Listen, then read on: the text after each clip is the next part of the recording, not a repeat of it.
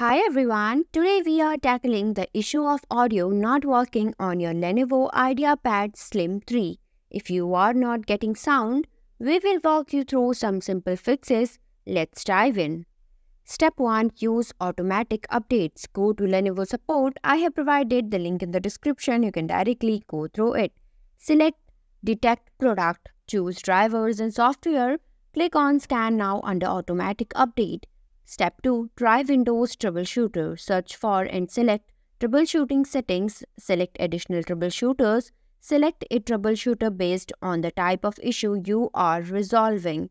Step 3. Verify Windows updates are installed. Select Start, go to Settings, then go to Windows Update. Click Check for updates and install any available updates. Restart your computer to see if the sound works. Step 4. Check the sound settings. Right-click the sound icon in the taskbar and select Open Volume Mixer. Ensure no audio devices are disabled. Step 5. Test your microphone. Refer to the guide on how to set up and test microphones in Windows 10. I have provided the link in the description. You can directly go through it.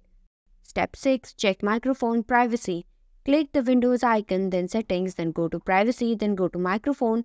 Ensure Allow apps to access your microphone is turned on. Step 7. Uninstall Sound Driver in Device Manager. Right-click the Windows icon and select Run. Type devmgmt.msc and click OK to open Device Manager.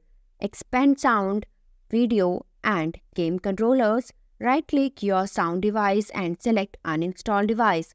Confirm and check delete the driver software for the device then restart your PC.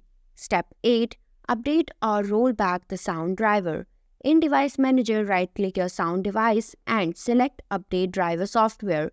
Choose Search automatically for updated driver software.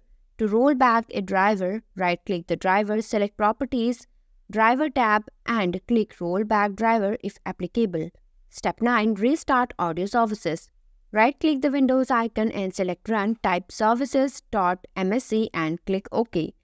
Find Windows Audio, double-click it and select Start if it's stopped. Step 10. Change default sound format. Right-click the sound icon in the taskbar and choose Open Sound Settings. Select Device Properties, go to Additional Device Properties. Under the Advanced tab, change the sample rate and bit depth, then click Apply. Step 11. Check the sound control panel. Search for sound settings, then select sound control panel. Go to the communications tab and adjust settings as needed.